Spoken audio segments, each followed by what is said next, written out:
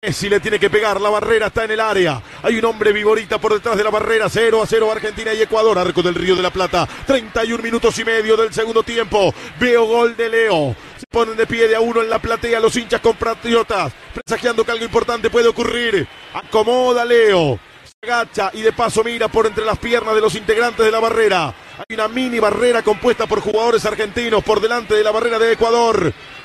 Messi toma carrera, el balón a 25 metros, un poco menos del arco, en línea recta. A Leo, Ilumínate, Leo. Ilumínalo, Diego. Messi le pegó.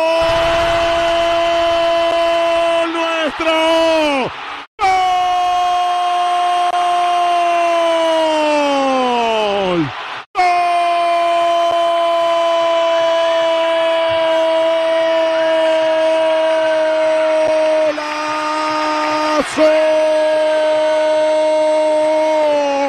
Nuestro gol de Argel. Andrés Messi.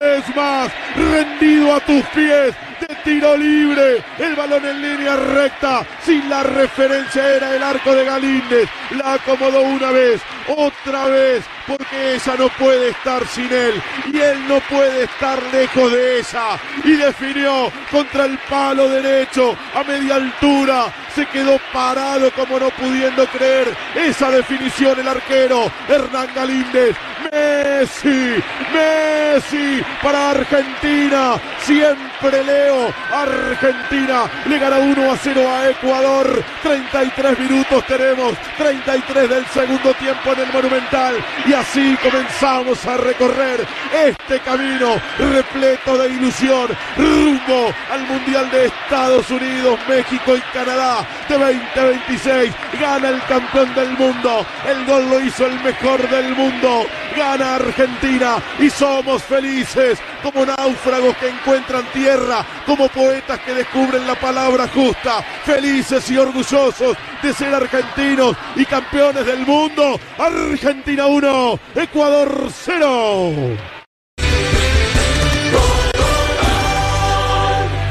Diga 33 y diga gol. A ese minuto estaba soñando, decíamos nosotros, con un tiro libre Messi. Se tiró un par de veces, el árbitro no le compró.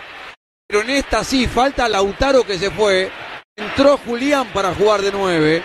Y el tiro libre y se veía venir. Como está Messi hoy en este tiempo, que no falla uno. Una posición ideal para él, para su zurda. Se quita del área, se armó la barrera. Galíndez puso el hombre vivorita, pero no puso a nadie en el palo, ¿eh? que ya a esta altura me parece que deberían los arqueros poner. Y Messi la levantó por encima de la barrera, empezó a caer. Y Mancita entró ante la mirada del argentino, atajaba en central. Gol de Messi. Argentina que mejoró segundo tiempo por pelota parada, por tiro libre y por Messi. Para unos